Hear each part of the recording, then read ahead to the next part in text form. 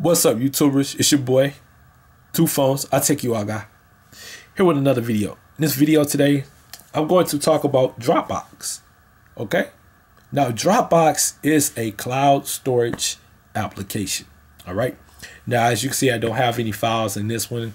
I set up a new account just to show you guys how this works. And yes, you can add you can upload photos, videos, you can upload files, you can create new folders, you can create new text files, you can take a photo and upload it, and you can add files right from your PC. Now, this is a cloud storage application, cloud storage company. Now, you can store, once again, you can store anything in here, like videos, movies, music, um, files you don't want anywhere else, like you don't want on your PC, you just want it in a different account. You can do that. And um, right now, they give you two gigs to start off with, but you can earn more. And how you earn more is, let's say, um, I think, okay, yeah, you go through settings, I believe. So you can you can also invite you can also invite users. And I'm trying to find that real quick. Yeah, okay. So you go invite friends. Need more space, you invite friends. Okay?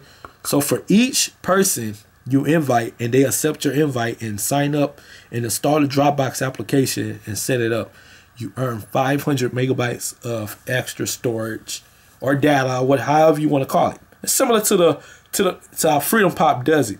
This is for the free service. Now they do have a a subscription and you can sign up to the subscription just like Google Drive, just like OneDrive from Microsoft, and Box. I think Box has it too. But I think this is the best way to do it.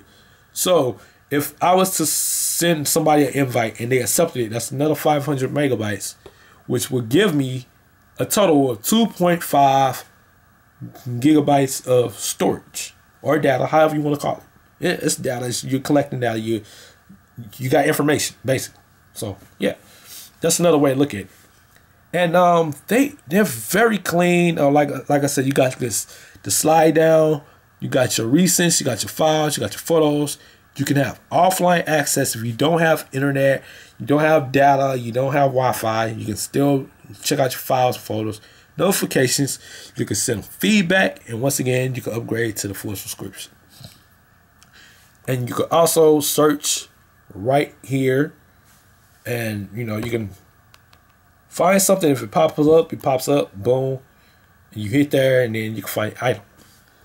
That's how dropbox works. This is another great application that i would definitely recommend if you're looking for extra storage on your device. If you don't have an sd card let's say you're running a nexus nexus or pixel or even an iphone okay? Even an iphone. You can use dropbox load up stuff in the cloud. And I know a lot of you all are scared of cloud. You shouldn't be. If you're afraid of cloud, you definitely should be afraid of just using a smartphone. Period. As simple as that. All your information is on a smartphone, so why would you even just be scared of the cloud when all your information is on a smartphone in the first place? Just saying.